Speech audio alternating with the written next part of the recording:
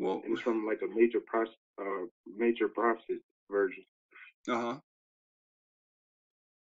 So yeah, I think this is the Isaiah's, you know, writing of Psalms 83, the beginning and how the the Confederate came to be Well, Confederacy. see, I never thought about it that way. Like, I think you got a point. Like, uh, we will see in the next chapter the the copying, the copying of the image of another god. When we look and taste what God it is, and you know, it, it is going to connect to Psalms 83. It, it is, it, you know, um, it's funny because what we're going to read is we're going to read about how powerful Syria was. Now, it's it's not talked about as far as I'm I know anymore in the scripture. Not even in the future prophecies. Syria will no, it's it's just gone. Yeah, and people don't understand how closely tied it was to the the Hebrews. Well, The point. this should set people uh, little more on the path of how tied they were to each other. You know, um, just from the description uh, from above looking down. Yeah, Yeah. it's about to start getting juicy though. It, it was already juicy, but now it start. This is like the the tea that everybody been waiting to sip. Like to start start naming names. This is where people get interested. Right. Well, you ready? Yep, I'm ready. All right. And three and two and action. Thanks for joining us, ladies and gentlemen. I have Joe on the phone. Hello, Joe. Shalom, everybody. What's going on? Shalom, Lex. Shalom, Joe. We are in uh, Isaiah chapter 7. This is a special, special chapter for me. This is one of those chapters that, that brought me to life or brought me to where I am today. This is one of the path is open chapters. The path is open. You can see the path. About ready to start? Yep, I'm ready. Whenever you'd like to start. All right, Isaiah 7, 1. And it came to pass in the days of Ahaz, the son of Jotham, the son of Uzziah, king of Judah, that Rezin, the king of Syria, and Pekah, the son of Remaliah, king of Israel, went to went toward went up toward Jerusalem to war against it, but could not prevail against it. Oh, all right, hold on right there. so, Ahaz is the king of Judah. Right? Ahaz, son of Jotham, son of Uzzah, king of Judah. That Rezin, king of Syria, and Pekah, king of Israel. So it's Syria and Israel versus Judah. Am I saying that right? Yep. All right, let's go. And it was told the house of David, saying, Syria is confederate, confederate with Ephraim, and his heart was moved, and the heart of his people as the trees of the wood are moved with the wind. So, Then said the Ishi unto Isaiah, Go forth now to meet Ahaz, thou, and Shayar Jashel, thou son, and at the end of the conduit of the upper pool in the highway of the fuller's field. now, And so, here we have being told, Isaiah, go and meet your king and go and meet your son. At the conduit of the upper pool, at the hallway of the upper pool, towards the highway of the fuller's field. Fuller is a wash, so maybe the uh, stamping of feet, hence to wash.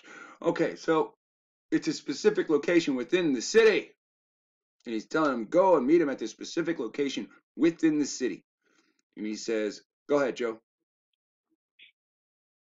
And say unto him, Take heed and be quiet.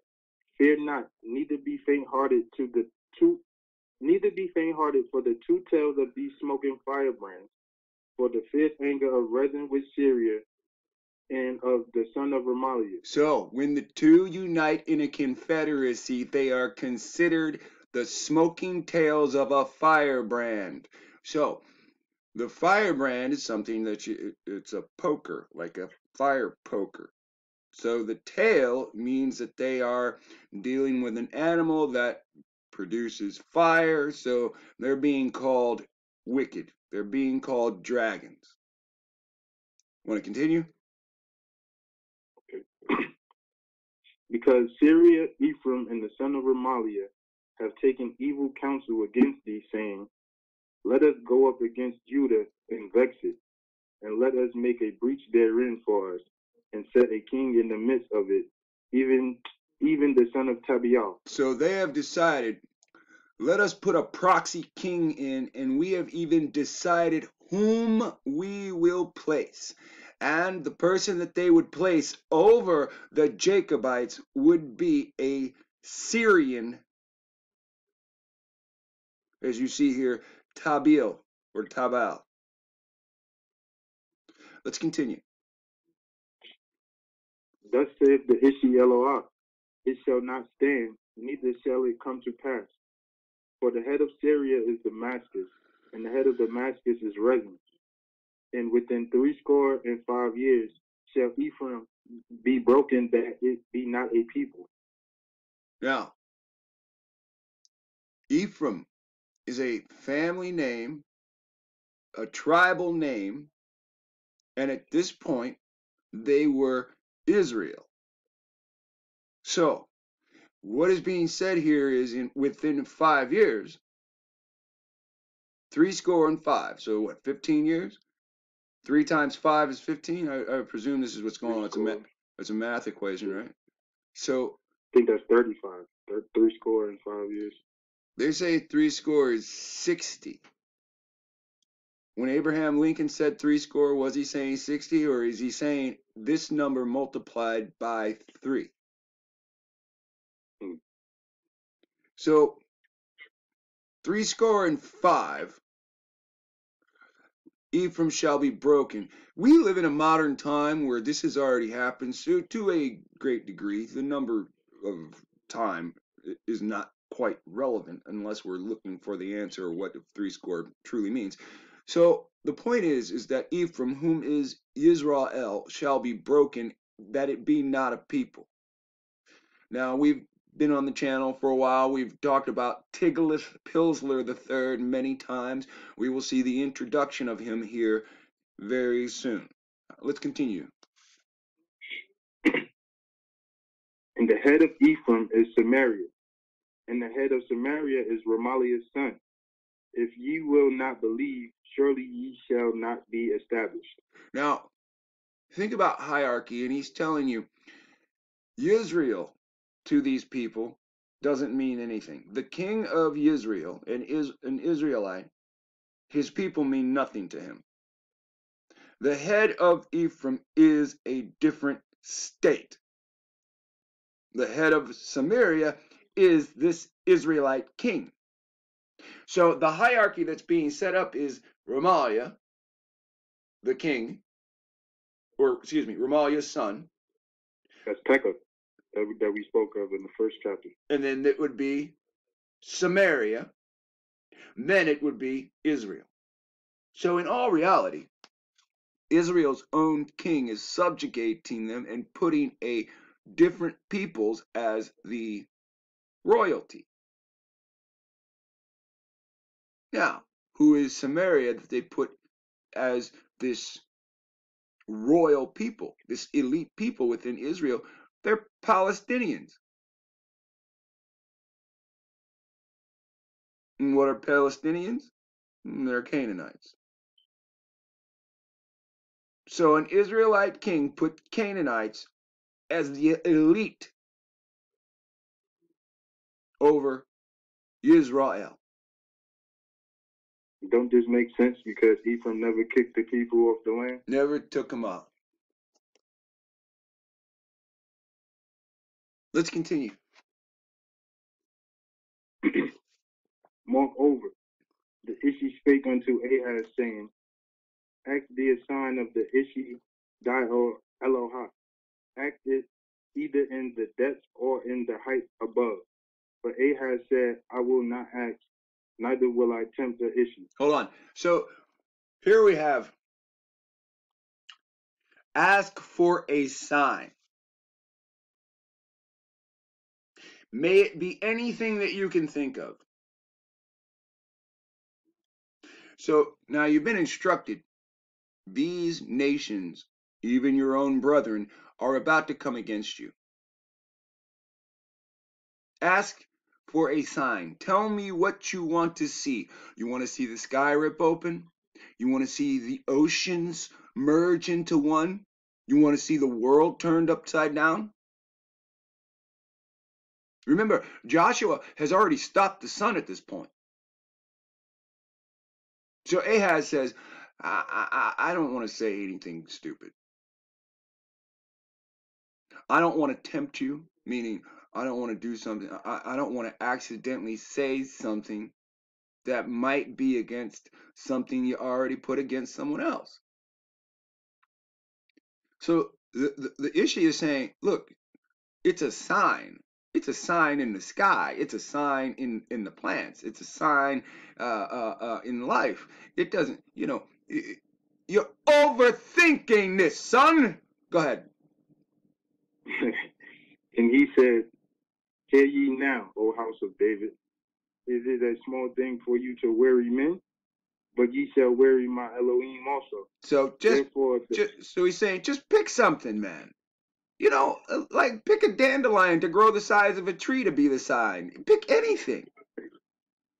You- can't even pick this, but you, uh, you know, oh, right. Weary me, but you, you know, go weary men. Don't weary me. Continue. Sorry. Therefore the issue the therefore the issue himself himself shall give you a sign. Behold, a virgin shall conceive and bear a son, and shall call his name Emmanuel. Now listen, that's a maiden, right? A virgin is what? A damsel, a maid. It doesn't mean an unplucked woman. It just means a woman of marrying age. Right? Alas. That's not even words we use, right? Is that British words or pirate words? So you think about this. Let's go. Let's go. Butter and honey shall he eat, that he may know to refuse the evil, Hold on. choose the good. Where do we find butter and honey? What is supposed to come out of the Promised promised land, huh?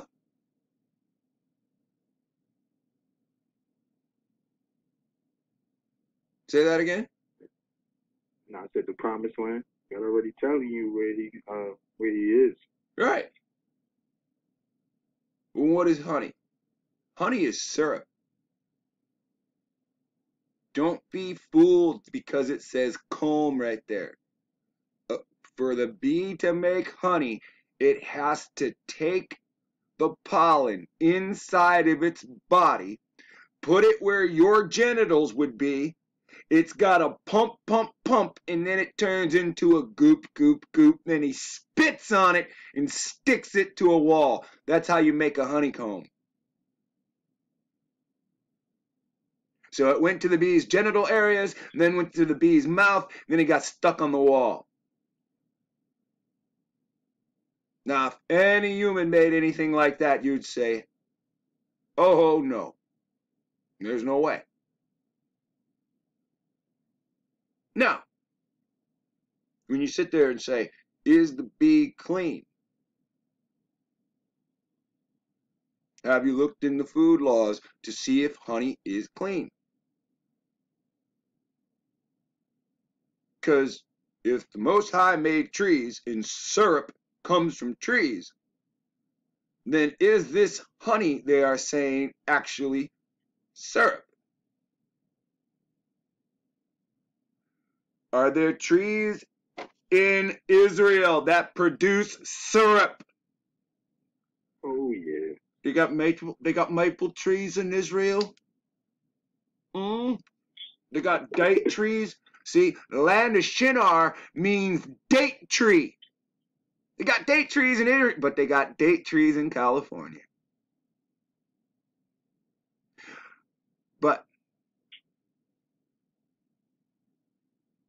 are they talking about date syrup? Just they're not talking about honey, bro. That is abominable. It crotch, crotch, crotch mixes. Then the bee spits on it. Don't be fooled by the word honey. Get a dictionary. Let's continue.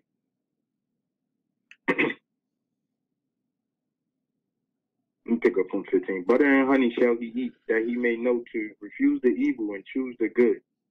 Before, for before the child shall know to refuse the evil and choose the good, the land that thou abhorrest shall be forsaken for both her kings. Look at that. Hold on. You did not want to choose what the sign will be, so this is what the sign will be. A baby will be born. He shall eat what? Butter and syrup. Milk or cheese, curled milk or cheese, and syrup. Or honey. You, you choose, right?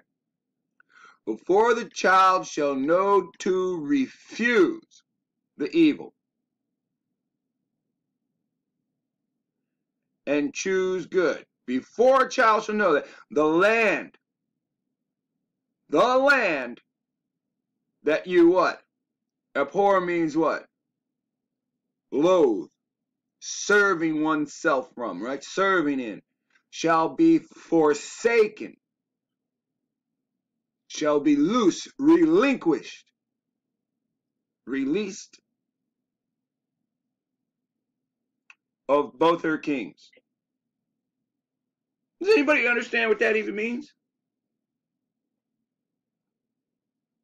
The land that you've grown to hate, your own home, homeboy, the kings that are on it oppressing you will have given up by the time this child is born.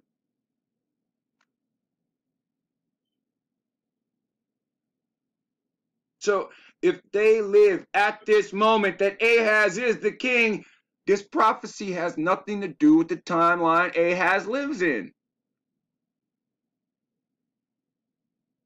You're waiting for a child to be born. When a child is going to be born, before the child know good from evil, the kings of the land will release the land.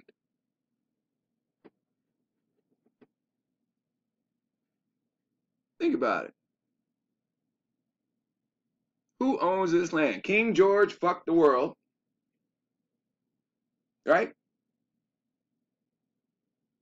You just watched the Pope who says he owns all the land say Jesus is fake and you watch them bow down to black people. Black Africans. In tight hot suits.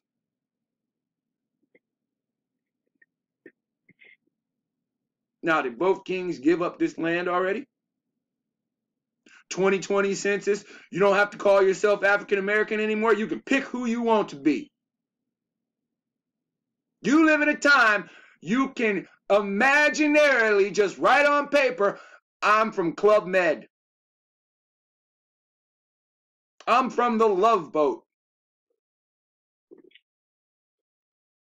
It's 2020. You have the the chance of your lifetime to say, I am on census, I am lost in space. That's right, people. You have the chance of a lifetime to write you are from anywhere. because the land's up for grabs. No one is going to tell us the land is up for grabs. Where is the authority of the king that we preach against? Either one. Where is the people saying you can't say that? Come on, Joe. Let's let's continue, sir. Picking up from 17. The issue shall, shall bring upon thee and upon thy people and upon thy father's house days that have not come, from the day that Ephraim departed from Judah, even the king of Assyria. And it shall come to pass in that day that the issue shall hiss for the fly that is in the uttermost part of the rivers of Egypt, and for the for the bee that is in the land of Assyria. and they shall come and shall rest all of them in the desolate valleys, in the holes of the rocks, and upon the thorns, and upon all thorns, and upon all bushes. In the same day shall the issue shave the shave with a razor that is hired, namely by the namely them beyond the river, by the king of Assyria, the head of the hair of the feet, and it shall also consume the beard. No. Has something like that happened yet? Right? In the same day, the, the Ishi shall the Ishi shave with a razor that is hired, namely by them beyond the river, by the king of Assyria, the head and the hair of the feet also shall come to consume the beard. Has it, your hair fallen out yet? Here, here, this is the word that's going to let it all under consume, destroy the beard, the hair of the feet. That's radiation, right? Where so much radiation is within the river, uh, within an area, it says by them beyond the river, right?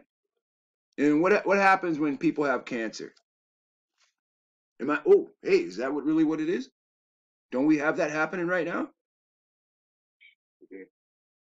Cancer patients, the hair on their head falls out. The men, their beard fall out. Even the little hairs on the knuckles of your feet fall out. See, we're waiting for a bomb to drop. It's got nothing to do that. Now you're, you're going to have to ask yourself, where is Assyria? Now you can say it's up, uh, it's on the other side of the world, but all their flags are here. All their flags are here. The Lord will hiss, right? Eh, in his utmost part of the rivers of Egypt. And for the bee that is in the land of Assyria. What didn't they have all these complaints that the bee was dying off?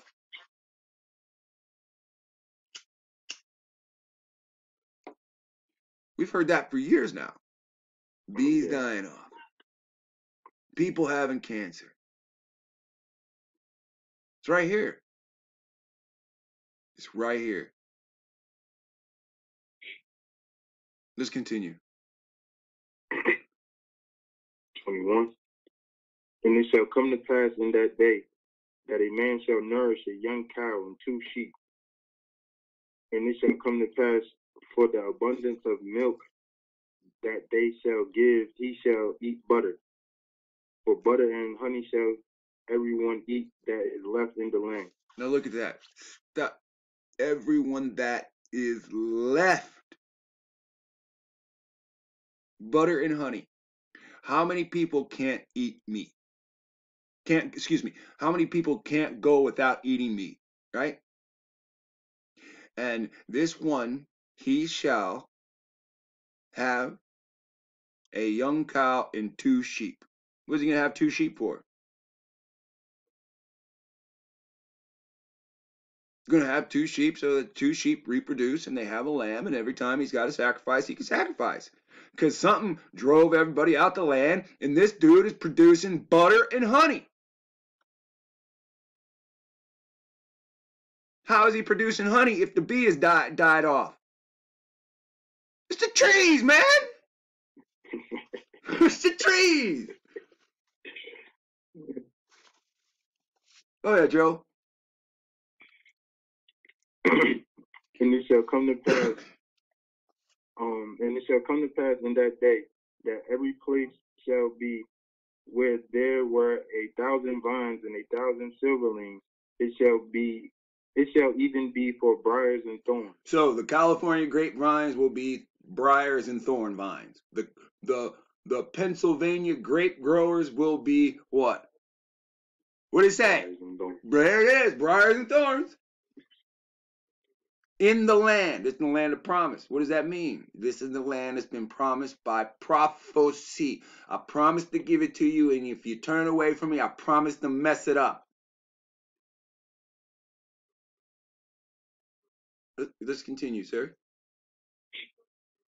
With arrows and with bows shall men come thither, because all the land shall become briars and thorns.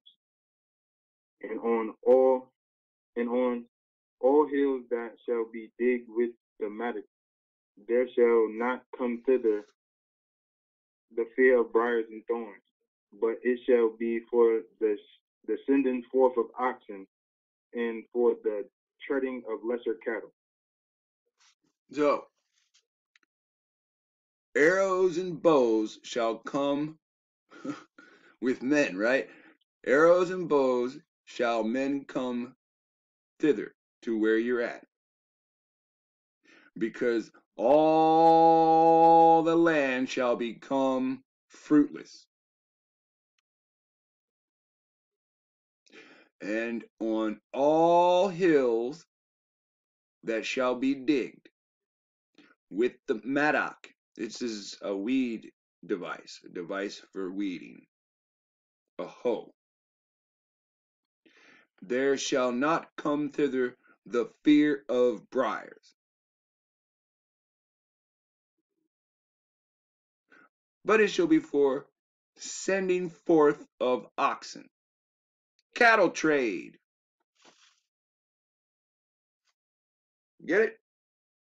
And if you're trading cattle and you make steaks, you don't have anything to trade anymore. Now you have to use the domesticated animal for the domestication of the domesticated animal. You make hot dogs, no more milk. The animal lives for 15, 20 years. You have food for 15, 20 years. You cut that animal into a steak, you eat for a week, and then you die. Does anybody understand what's going on? This is the smart system. This is when they put the smart device on your electricity, say you can only have so much. This is the smart device on your water saying you can have so much. This is God's smart device. I'm going to turn the land to mud, and you can only use the animals for their original purposes. Good luck. Anything you want to add, Joe? Nah, not much. It's just starting to getting juicy, man. It's starting to bust Psalms 83 right in the head. Hope people is paying attention. Ladies and gentlemen, in the seat you have Joe reading. At the podium you have Lexwell, the servant reading. Thank you for your time. Shalom. Shalom.